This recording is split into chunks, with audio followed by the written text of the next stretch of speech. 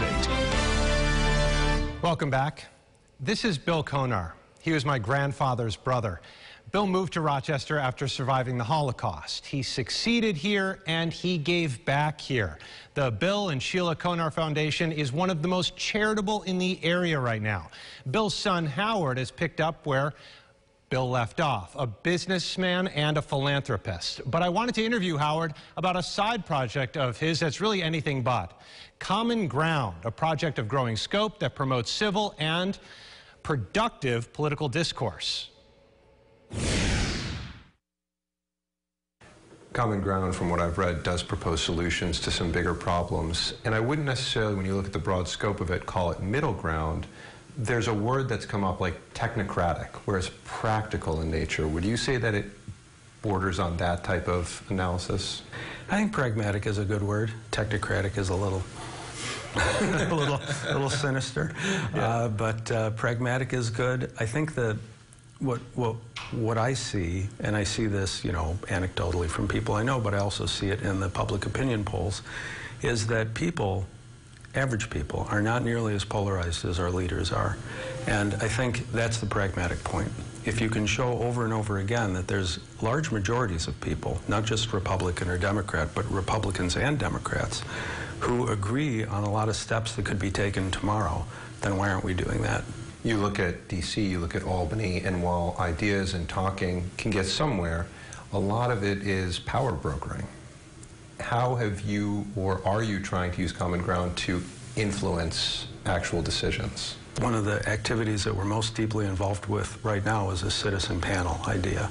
The idea is that in each district, each congr congressional district across the country, um, a representative like Joe Morelle uh, um, would say to his constituents, We'll, we'll select a random sample of people. We'll poll you on issues like immigration, health care, debt reduction, foreign policy, gun safety, um, you know, right down the line.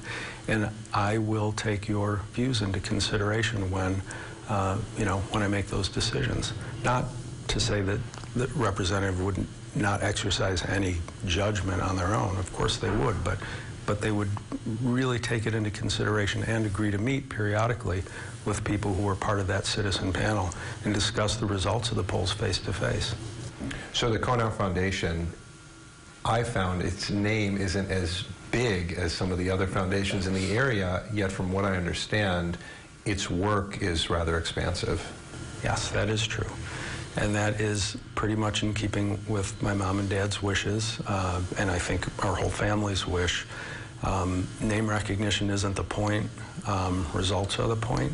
And uh, as the saying goes, it's amazing what you can do as a team when nobody takes the credit. Is there an overarching mission that guides the foundation, would you say? We, we have objectives, you know, we have focus areas. Uh, one is pre-K through 12 education. Uh, another is um, supporting Jewish life. Another is offering uh, better access to health care. And finally, uh, we do a lot of work in the area of promoting tolerance through education programs and other programs that um, just try to limit the spread of hate and promote the spread of understanding.